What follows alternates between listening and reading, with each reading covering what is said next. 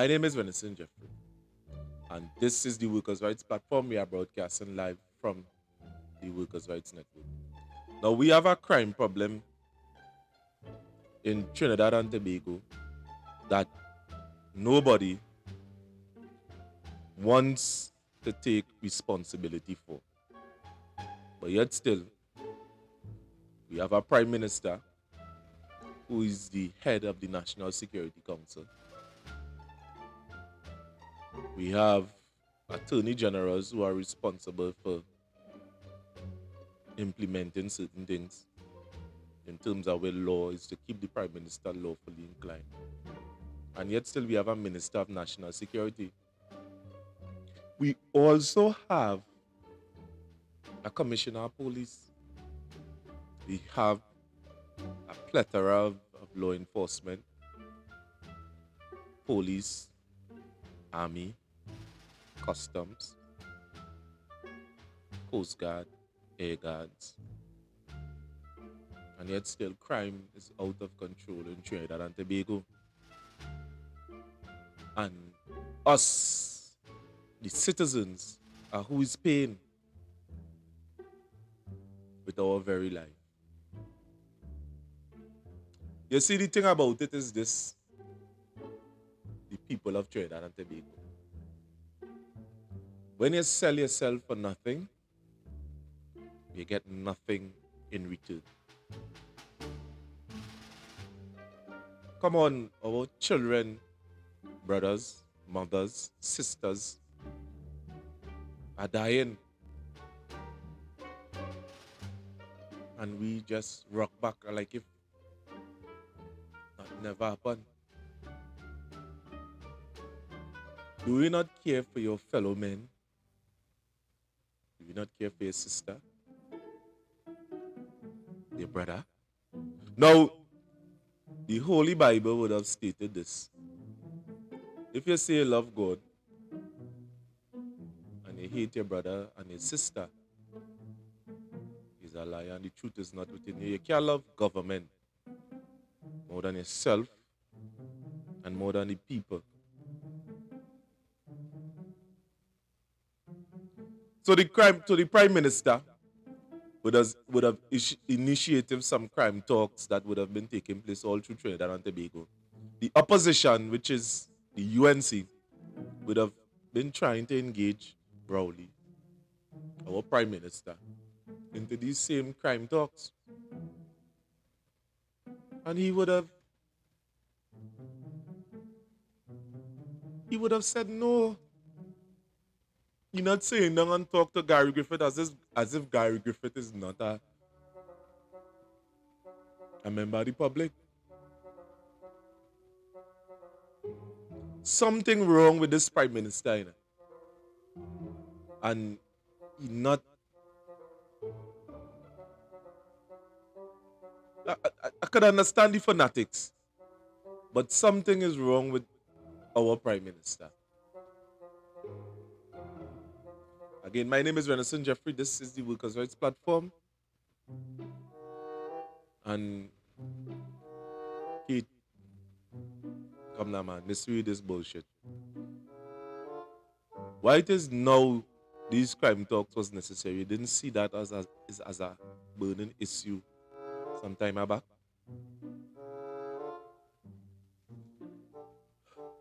Again, my name is Renison Jeffrey. This is the Workers' Rights Platform. Like, share, and subscribe. Be a part of our audience on Tuesdays, Thursdays, and Saturdays, in which we go into serious political issues. With that, I am out.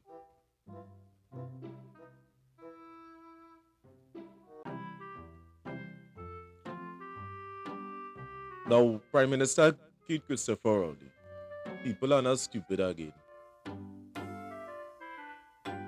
Full force of the law. What was taking place all the time. I think that people are not stupid again.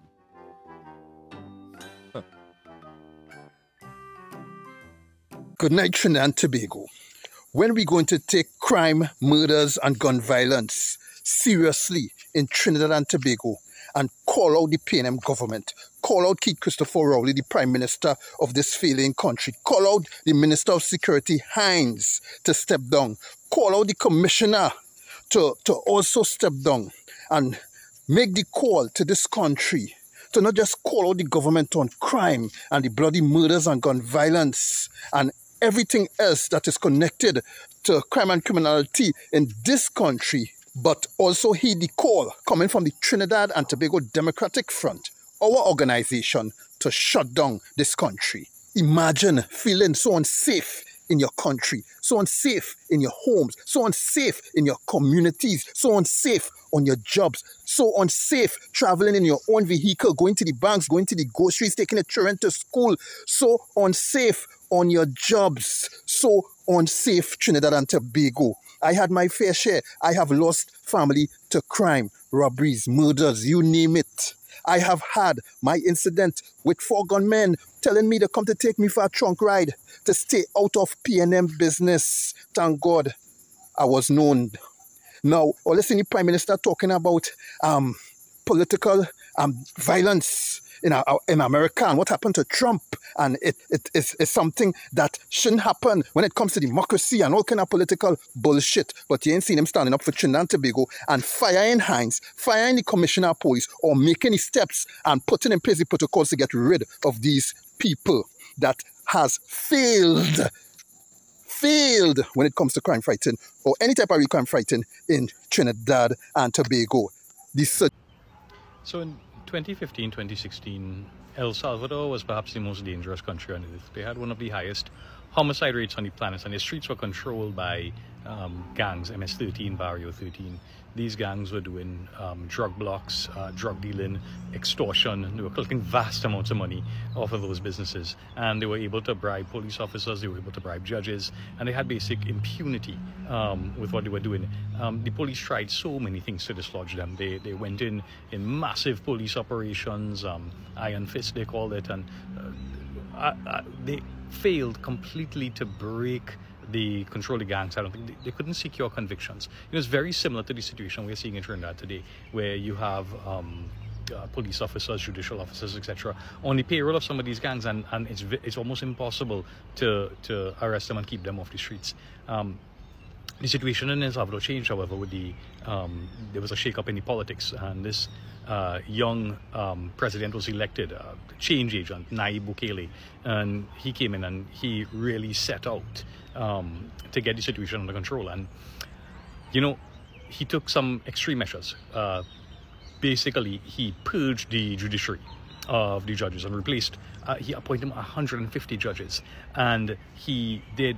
He declared a state of emergency uses majority in parliament, state of emergency, and then they arrested in the first two months 30, more than 30,000 people, everybody who was sus- suspected of being a gang member, affiliated with gang member. They arrested tens of thousands of people, built a mega jail because you know they couldn't they couldn't even hold all these people, and broke the back of the the the, the entire gang operation, the entire drug block operation, the entire um, um, the, the extortion network. So instead of trying to go to the top and dealing with, with there, which was really not really wiped out the entire bottom and, and, and broke the entire infrastructure, the gangs. And the, the result was, I mean, the El Salvador went from being one of the most dangerous countries on earth to being one of the safest countries on earth in just a matter of a few years, right? And Bukele now has an approval rating from his population over 90, 90%. He's, he's one of the most popular leaders on earth um, because of what he did to restore um, safety um, to El Salvador. Now, the, the point I want to make here is not that Trinidad should go about copying what El Salvador did, right? Um, he found a solution that worked for his country. We need to find solutions that work for our country. The point I want to make is that as bad as the situation may seem, as desperate as things may look, as much as you think that this there's no way anybody's going to get control of this, there is always a way to do it. So long as there is will and honest good intention and effort, there is always a way to do it um, looked at El Salvador. They thought the situation was impossible. Um, Bukele found a way to, to, to, to do it. And we here in Trinidad as well, um, the situation may look bleak, but there's always a way to do it. All right? You all have a good day. Now look at this here, ladies and gentlemen. Court victory for Erla in FUL cases. Didn't strike in a bell, right? Because many of you are not paying attention to the media and the type of inconsistencies that exist. Now, Miss Christopher is saying that there's a victory for her in these cases and then. In some cases, men would have applied for FUL firearm users license and they was denied. And the renewal and that whole heap of bacchanal. But what really Prime Minister is saying? Or you had a thinking, or you had a watch his mama guy outside here. You know? I will show you what the Prime Minister is saying. And you tell me for yourself. Now, I had to dry my face. Prime Minister lament crime, laments crime, use of high-powered rifle.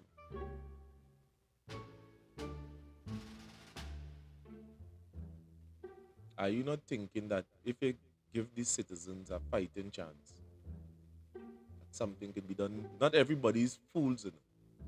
Not everybody go take a gun and shoot a mango thief or a rock thief.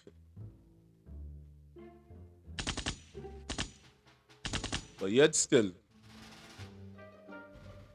the commissioner of police paying up is a uh, victory for and you saying you lamenting. This thing real bothering me.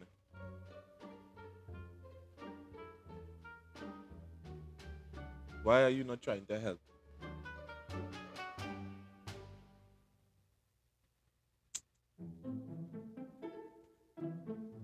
Right, citizens, take a look at this picture here. Mia Mottley wants Barbadians to unite in the fight against crime. She wants Barbadians, everybody, to unite in the fight against crime. And knowing many of reading or listening to plenty of the statements that were coming from Mia Mottley, we would have known that she's a person that believes in coming together. Let me give Jackie Jackie. The opposition would have been have, trying to have crime talks with Keith Christopher Rowley. Why is the opposition doing that? That is not that is not a role for the government.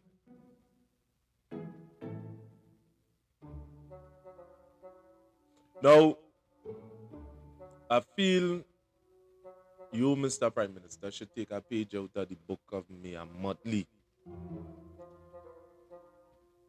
Because she would have seen a need to involve all stakeholders. Stakeholders are crying out likewise because they're fed up now. They're fed up. They would have said, We fed up now. Let's do something about this. Now that's the news article here. Enough is enough. Stakeholders are fed up businessmen that are being robbed. They're fed up. Average citizens, are you not fed up though? Now we are broad- we have been broadcasting on this network and we would take a little break, you know, to shift around in how we do our things. But in no like manner, we will continue to bring issues and highlight the facts to you that you could be able to see what is going on in and around Trinidad and Tobago on a daily basis. I and my son are recovering from dengue. That dengue outbreak that we would have discovered, that mass amount of dengue breeding a mosquito in the Point Fortin area, we would have uncovered the causes for such. Again, my name is Venison Jeffrey. This is the Workers' Rights Platform. Like, share, and subscribe and be a part of this fastest growing network. Reach out to us, let us come on a personal level and do these interviews with you and air them live. live. Again, I am out. There we go. Hi, good day, everyone. I'm Candice Edwards, and I'm here with Khan, Mr. Khan. Yes, can. We are the advocate for justice. and look on our YouTube channel on Tuesdays, Thursdays, and Saturday. Well, Saturday is the bacchanal time where you can call in. Bacchanal and- Saturday. Bacchanal Saturday, we call in that. Where you can call in and bat, okay, man. Bat, okay, woman. Let's sit and have a chat. Right? Mr. Khan? 7.30 to 9.30 p.m. Make sure and call back on our Saturday. But we'll be on a Tuesday and Thursdays as well for all those hardcore issues that are affecting you. Water, mosquitoes, parliamentarians, we'll be there. Call in and talk, we'll be coming to you to do interviews, showing the videos, and then we'll be airing them. Yes, for everyone to see. So you too can have a voice. Whatever situation you would have been facing in the past and even in the present time now, you can come out. You feel free to call. We are your voice. Let us stand in the gap for you and bring this, these situation out into the light. This video was born because a lot of people commenting. So we're trying to give the people a A voice. so make sure and tune in. Tuesdays, Thursdays, and Saturday, Bacchanal Saturday. I like it.